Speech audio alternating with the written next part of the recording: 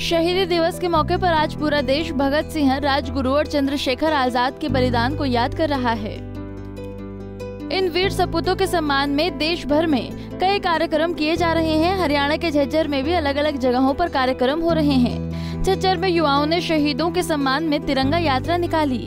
ये तिरंगा यात्रा झज्जर के गाँव बिरधाना से शुरू हुई और शहर के विभिन्न स्थानों से होती हुई झज्जर बहादुरगढ़ रोड पर स्थित शहीदी पार्क पर जाकर खत्म हुई।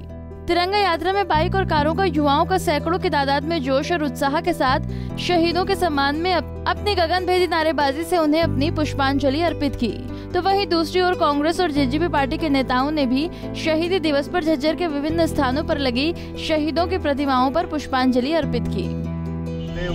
शहीदी दिवस पर आज जननायक जनता पार्टी की तरफ़ से ज़िले के सभी वरिष्ठ पदाधिकारी और इस पूरे देश और प्रदेश में जिस तरीके से जो आज मैसेज युवा साथी दे रहे हैं, उसका आज पूरे देश में जैसे दुष्यंत चौटाला जी आज मैराथन का उचाना में जिस तरीके से भव्य प्रोग्राम किया गया तो उनको देखते हुए, उनके पद चिन्हों पर चलने के लिए और उनके आने वाली जो हमारी पीढ़ियाँ हैं, उनको आगे बढ़ाने के लिए और उनके पद चिन्हों पर चले, इसलिए आज ये बहुत बड़े प्रोग्राम किए जा रहे हैं। तो शहीदी दिवस पर हम श्रद्धा सुमन अर्पित करने के लिए सभी आई आज शहीदी दिवस हमारे सभी सम्मानित कांग्रेस के कार्यकर्ताओं ने मनाया, जिसमें शहीद भगत सिंह जी की, शहीद रविंदर सिंह चिकारा जी, सुभाष चंद्र बोस, राव तुलाराम चौक, राव तुलाराम जी की मूर्ति पर और शहीदी पार्क में। सभी ने मालाएँ अर्पण की।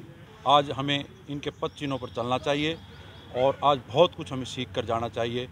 शहीद किसी भी जाति, धर्म और किसी दल के नहीं होते। ये सभी के होते हैं और हमें सभी ने एक होकर आज बहुत कुछ इनसे सीख कर जाना चाहिए। इस मौके पर नेताओं ने कहा कि शहीद भगत सिंह, राजगुरु चंद्रशेखर आज़ाद सहित महान वीर सपूतों की कुर्बानी से ही हम आज़ादी की सांस ले रहे हैं। आज की युवा शक्ति को इन शहीदों से प्रेरणा लेने की ज़रूरत है। झज्जर से प्रवीण कुमार, धनखड़, पंजाब केसरी टीवी। हमसे जुड़े रहने के लिए हमारे YouTube चैनल को सब्सक्राइब करें और नई वीडियो की नोटिफिकेशन के लिए बेल आइकॉन को दबाएँ। अगर आप ये वीडियो Facebook पर देख रहे हैं तो लाइक ज़रूर करें और ज़्यादा से ज़्यादा शेयर करें धन्यवाद